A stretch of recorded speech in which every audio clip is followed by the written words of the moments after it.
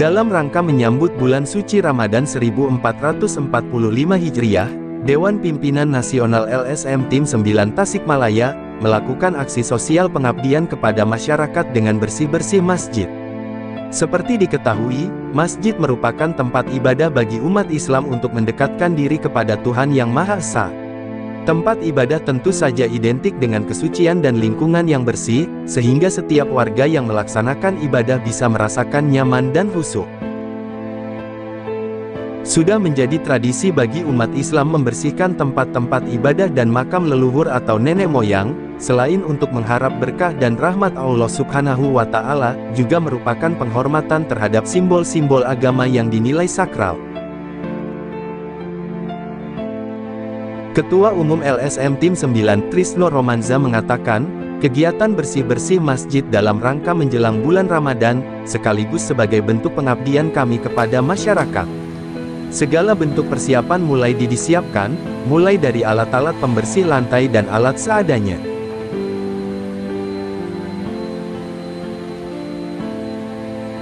Kedatangan PT Jarum yang diwakili oleh Bapak Olen sekaligus memberikan alat kebersihan berupa vakum cleaner, dan perlengkapan kebersihan. Tim 9 mengucapkan banyak terima kasih kepada PT Jarum, yang telah memberikan alat kebersihan guna untuk perlengkapan kebersihan ke masjid-masjid yang lainnya. Agenda kegiatan ini merupakan agenda rutin setiap seminggu sekali yang dilaksanakan setiap hari Kamis, keliling ke setiap masjid jami, Masjid Agung di Tasik Utara, yang telah dilakukan selama hampir lima bulan.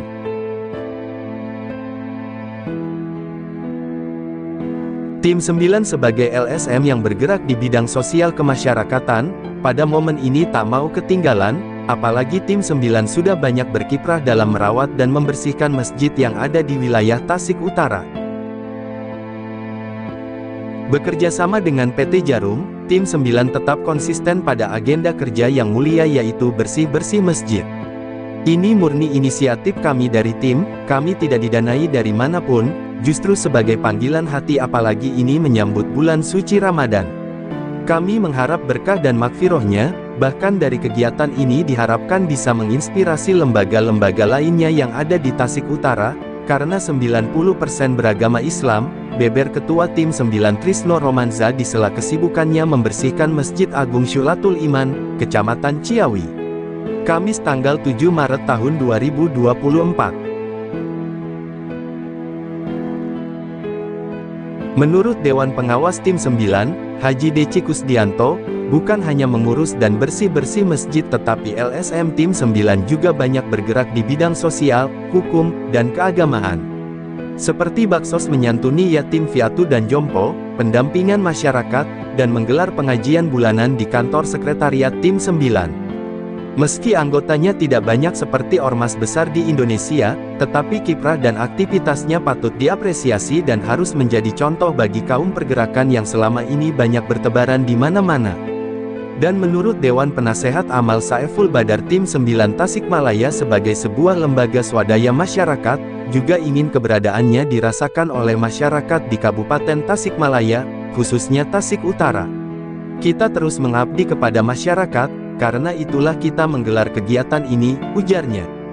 Semoga dengan adanya kegiatan ini, masjid menjadi semakin terawat, jamaah semakin nyaman dalam beribadah, dan bisa sama-sama menjaga kebersihan di lingkungan masjid dalam menyambut datangnya bulan Ramadan.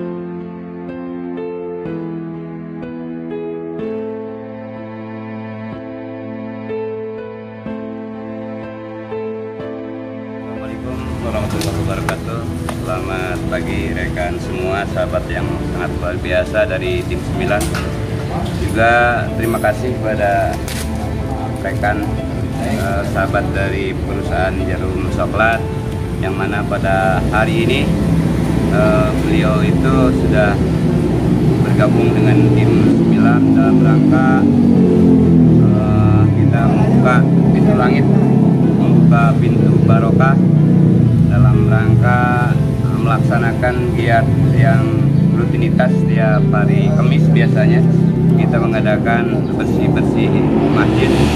Dan sekali lagi tidak ada kata yang paling hebat itu Jaklon Kasiro ke pihak kru dari perusahaan uh, Jarum Coklat itu.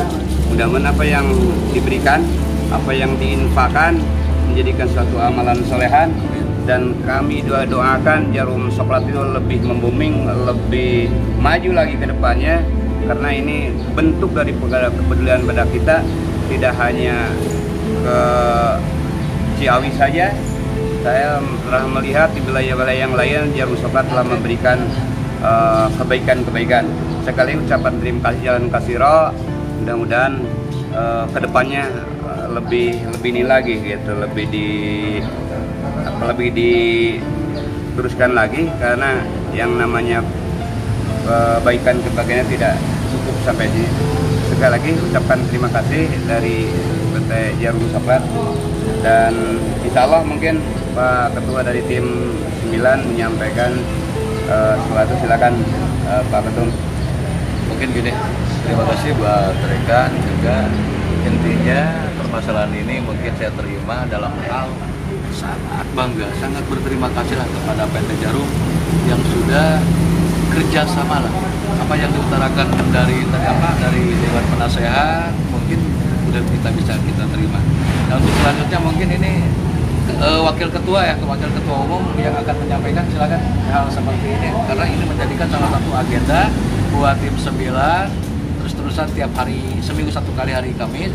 Nah sekarang mungkin ada pembantuan dari pihak Jarum. Silakan Pak, Pak Wakil Ketua untuk masjid ini, masjid besar Iman. Bismillahirrahmanirrahim. Assalamualaikum warahmatullahi wabarakatuh. Waalaikumsalam warahmatullahi wabarakatuh. Pertama-tama saya ucapkan puji syukur kepada hadirat ilahi Rabbi ya, yang mana ini di luar dugaan atas izin Allah e, sebuah program yang sangat luar biasa di tim 9 ini sudah ada support ya dari perusahaan yang sangat luar biasa besar di Indonesia. Dan kami sangat apresiasi dan semoga ini bisa berlangsung uh, terus menerus bukan hanya sekali atau dua kali gitu. Karena ini adalah program-program yang sangat luar biasa di mana ini program tim 9 ini adalah program aktivitas, aktivitas sosial untuk membantu masjid-masjid besar dalam uh, memelihara dan membersihkan uh, masjid itu sendiri. Mana masjid-masjid ini adalah masjid-masjid jami yang biasa dipakai oleh jumatan oleh uh, umat Islam semuanya.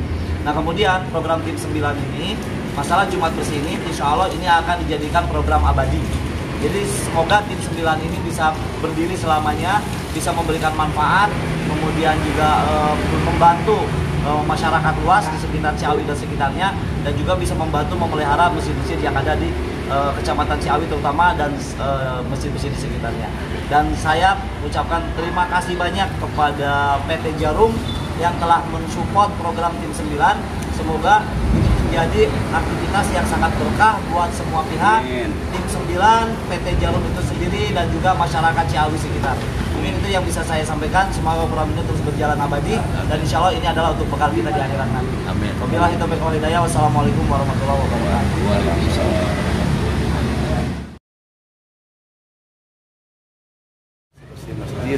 Bersama tim 9 di Masjid Agung Suratul Iman. Ya, yang mana di Masjid Besar Agung Ciawi mungkin kegiatan ini berlangsung dengan uh, alhamdulillah bisa diterima oleh rekan-rekan dari tim 9 yang memang kita dengan kegiatan sosial ini bisa memberikan dampak baik terhadap masjid-masjid di lingkungan yang ada khususnya di Ciawi sendiri. Dan mudah-mudahan PT Jarum dengan tim 9 bisa terus berkembang, terus berjalan dan terus bisa bekerja sama dengan baik. Dan intinya kita sama-sama berjuang, berjuang bersama-sama. Terima kasih ya. Ini keterlibatan dari pihak perusahaan Jarum sudah lama ini dengan Tim 9? Uh, kebetulan kita baru sekitar ada di uh, tiga bulan dan mungkin ini adalah memang momen yang baik sebelum kita Ramadan, Kang. Kebetulan ada program juga dari kita yaitu bersih-bersih masjid. Apakah diundang oleh tim 9 ada kegiatan atau memang suatu bentuk apresiasi dari perusahaan nomor tim 9 sehingga perusahaan itu menjalin satu kerjasama? Gitu? yang pertama mungkin dengan adanya program sendiri dari tim semula yaitu bersih-bersih masjid yang memang sudah dilakukan rutin seminggu sekali di masjid-masjid yang berada di wilayah Ciawi. Dan kemudian eh, bisa kerjasama. kerjasama dengan tim 9 juga. Ini adalah karena momennya adalah kita ada program bersih-bersih masjid yang mana ini bisa klop dengan tim 9 dan alhamdulillah ini bisa berjalan di wilayah Ciawi sendiri. ya terima kasih banyak ya Pak. ya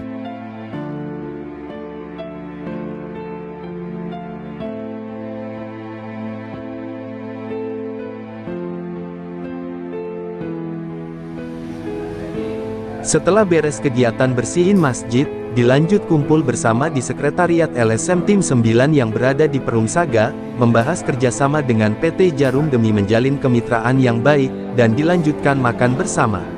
Semoga dengan kegiatan ini LSM Tim 9 bisa terus berguna untuk masyarakat dan memberi manfaat bagi masyarakat.